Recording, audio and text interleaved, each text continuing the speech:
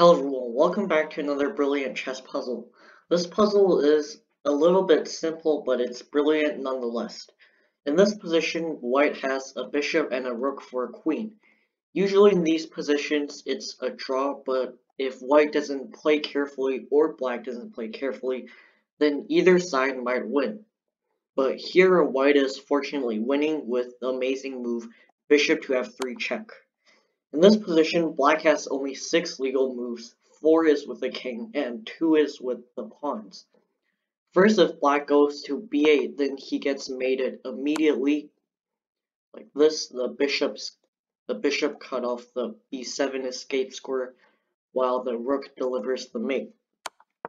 And if black goes to c8, then after bishop to c6, this move is very important. It cuts off the two escape squares.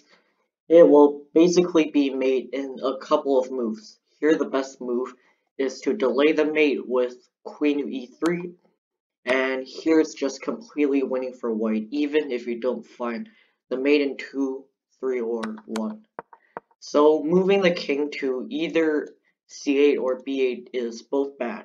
So what happens if it goes to a6?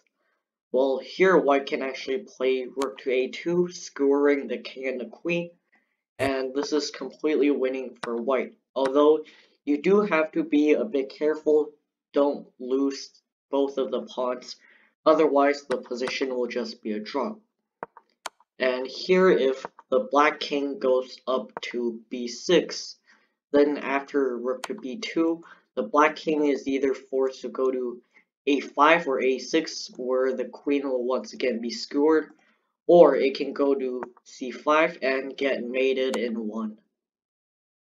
Obviously, moving the king in this position is not the best thing for black to do, but what if he plays pawn to c6? Well, this allows the skewer rook to h7, which picks up the queen on a7. So black cannot play c6, which leaves the move d5 as the best move. But after white takes the pawn with the bishop, black onto the back rank will simply again allow mate in a few moves or one. But here if black plays c6, then once again, skewer.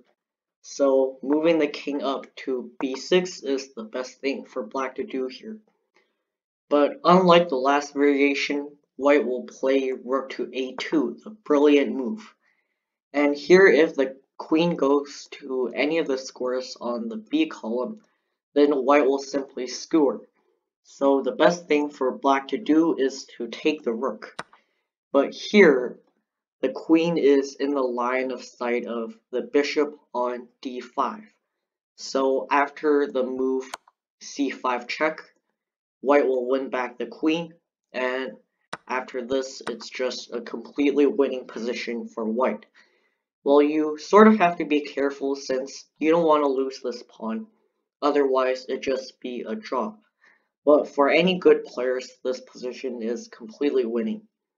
And this will be it for today. I hope you liked this video. If you did, please like, subscribe, and share for more videos in the future. Goodbye.